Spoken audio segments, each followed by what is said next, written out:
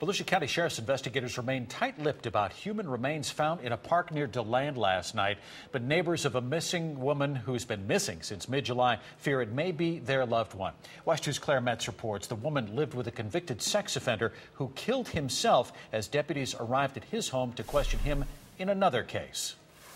Officials with the medical examiner's office collected the remains last night. Folks walking through Lake Beresford Park stumbled upon that grim find just before 6:30 and today sheriff's investigators are thoroughly searching the scene trying to figure out who the person was and what happened here.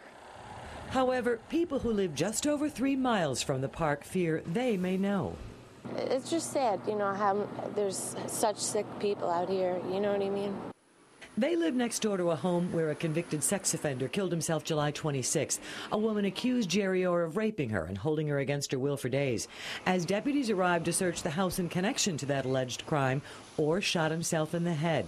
That day, deputies started worrying about Orr's living girlfriend, 42 year old Jacqueline Delray. Neighbors hadn't seen her for more than a week before the suicide.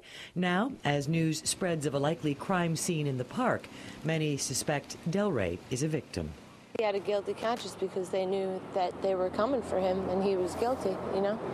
It was just a matter of time. So then when he got the knock on the door, I guess he took the easy way out. Deputies have searched extensively for Delray, plastered her picture everywhere, talked to family and friends, nothing. They won't speculate about whether the remains are her, but many in the neighborhood think the coincidence is just too great.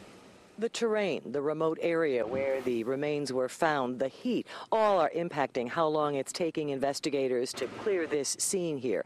Sheriff's deputies can't be sure they'll have any new information later today. Near DeLand, Volusia County, Claire Metz, WESH 2 News.